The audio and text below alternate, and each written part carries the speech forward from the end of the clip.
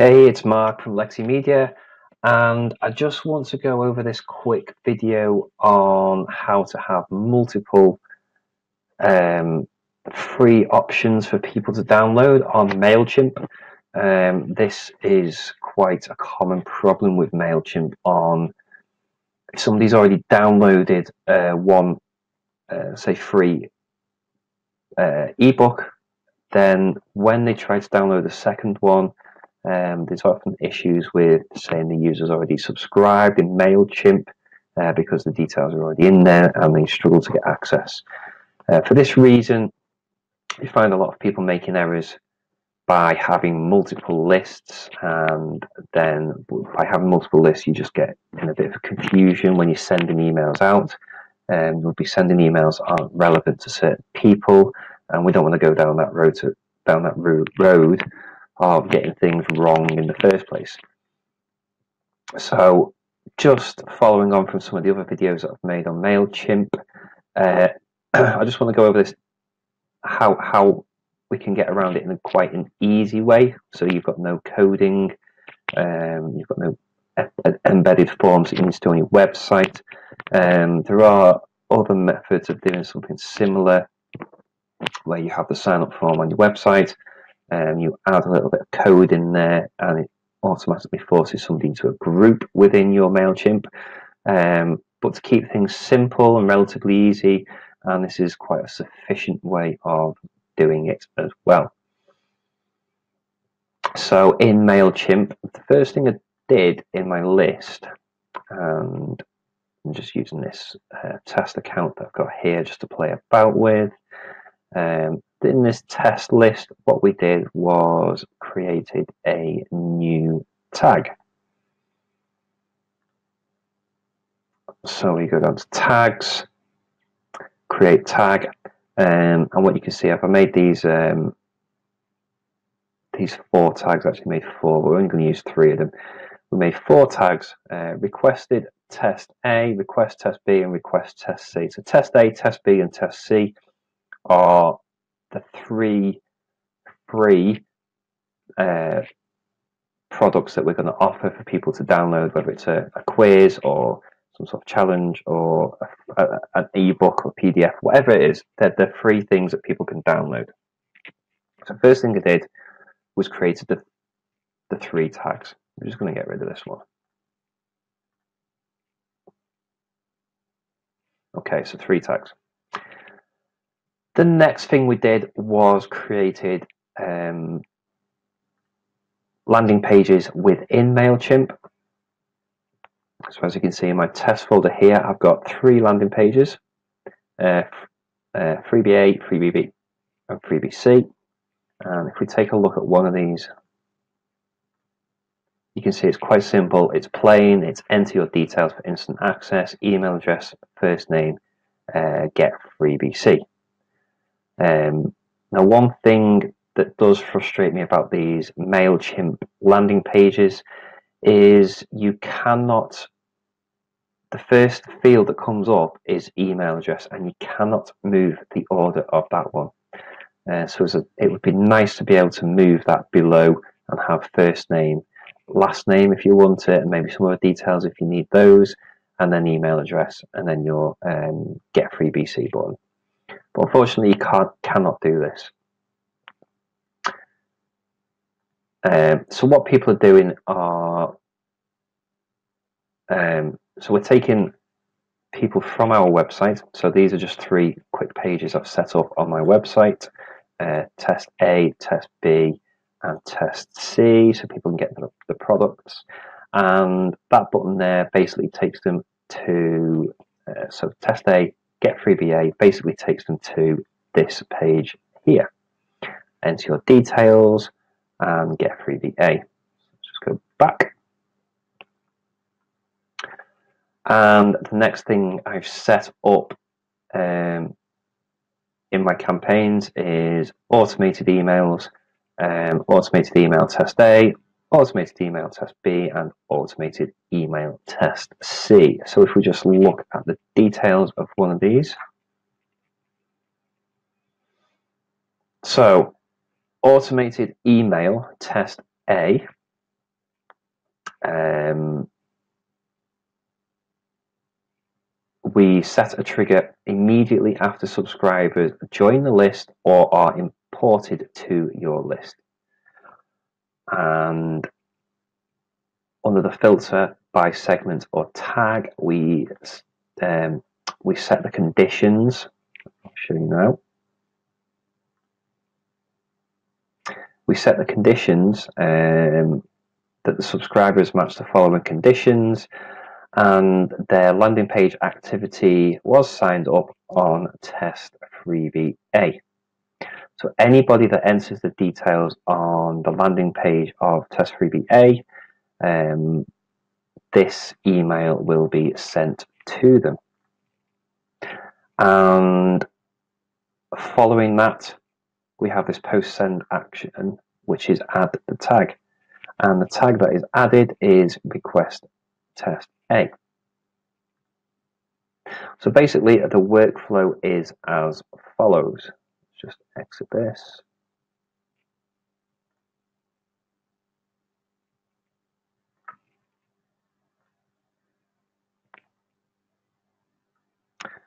So a person lands on my website, um, they see a multitude of offerings, they decide they want test A, they click on freebie A as follows. They are sent to this page and they enter their email address. Let's just put in any another test email of mine. And first name Mark, get freebie A. And as you can see, um, this is just a quick uh, thank you landing page I've created on the website. So it now says, uh, go check your emails. So basically, it's a success page. Obviously, you'd have something a bit more fancy here. Go check your emails. If you can't find your emails, check your spam slash junk folders and blah, blah, blah, blah, blah. Um, so we'll go and check emails in a bit. So now if we then, the customer likes that and the customer decides to come back to the website and they want another free service that we're offering, then they come along, they click get freebie B. Again, the uh, face with this page here, they enter their email address, add the same one. Add the same um, email address. So obviously we're re-entering the same details of somebody that's now already in the um, in the list. I'll just take a look at the list to show you I'm already on there. And there I am with that leam.print at outlook.com. Um, as you can see, I've already requested um, test product A um, and I am subscribed and I and the source was test freebie A. So now let's then go and submit freebie B. Again, we're faced with the same thank you page. Go check your emails. Excellent. And then we come along and we want, uh, we also want freebie C. Uh, again, same email address, same first name, the same details that I'm already on the list, and we will do get freebie C. Again, the same landing page, go check your emails. Now, and my screen recording just crashed, so getting back to it, let's look at the test list here. so um, as you can see now, this leam print at outlook.com has now tagged um, request C, request B, and request A. I am subscribed. The original subscription was via test um, free product A. And the fact that I have been tagged in um, with all three tags means that all three emails must have been sent. So if we look at our campaigns, and a quick check of email test A. Three emails sent.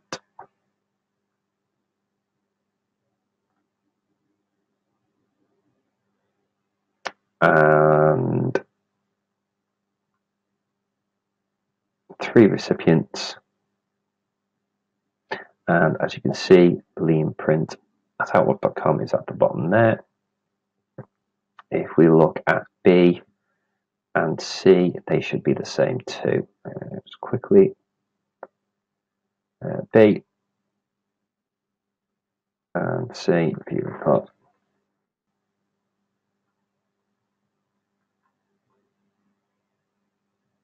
Three emails sent, uh, view report.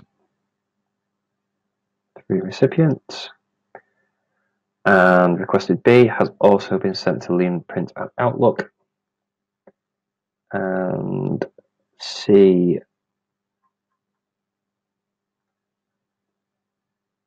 one recipient Liam Print at Outlook.com. So as you can see, once um, the first time the form was filled in, that subscribed me to the list. Um, but I've been able to follow up and still request uh, two further three products. If we just have a look in my e and here in my emails, you can see I have test product A, uh, test product B, and test product C. You take a look at those Here's your freebie PDF test A. Well done to you. Here's your link. Click on that and again, same for B. Free PDF test product B. And the same for C. Free PDF. Oh, um, misnamed that to D. Um, but you get the idea. So although this isn't the most perfect way of doing it, it's actually um, reasonably simple. It does keep things quite tidy if you just have this set up like so. Um, this section here is just an image that I threw together on, um, I did it on Photoshop, but you could do this in something like Canva and save it as an image. Um, I'll just show you the um, design of the landing page.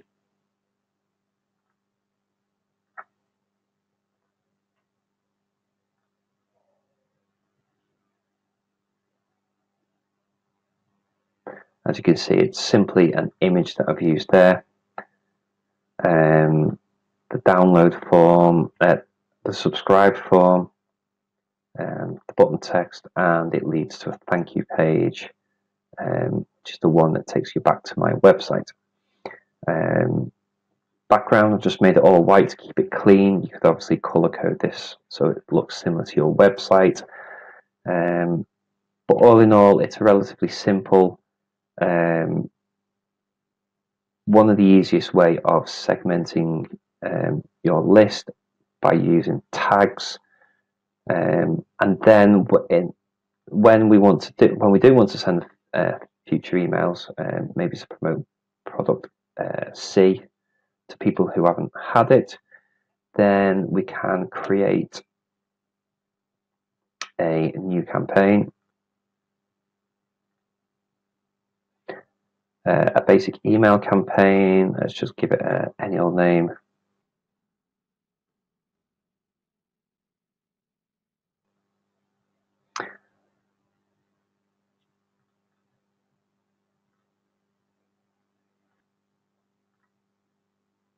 uh, just choose the list and here where it says segment or tag we're just going to change this from there to a new group or segment um, so if we want to promote product uh, C um, then we we want to send it to people who do not have um, who are not tagged product C so tag is not tagged with product C or request test C.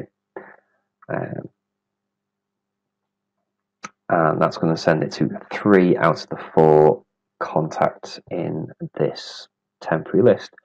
Um, and then we construct the email and send it out. Uh, that way, it's really easy to not send emails to people that it's not relevant to. Um, so yeah, uh, it's not the the most ideal way. It's not the best looking way, but yeah, it's quite simple, um, and I hope that helps.